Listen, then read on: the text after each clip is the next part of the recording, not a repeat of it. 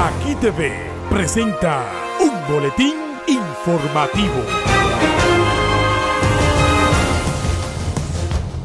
Gracias por mantenerse con nosotros. Eduardo Cuna, ex jefe de la Cámara Baja de Brasil, cercano al presidente Michel Temer e impulsor del proceso que despojó del poder a Dilma Rousseff, fue detenido ayer acusado de participar en la trama de corrupción del estatal Petrobras. Continúe con nosotros y manténgase informado con Aquí TV, Canal 16.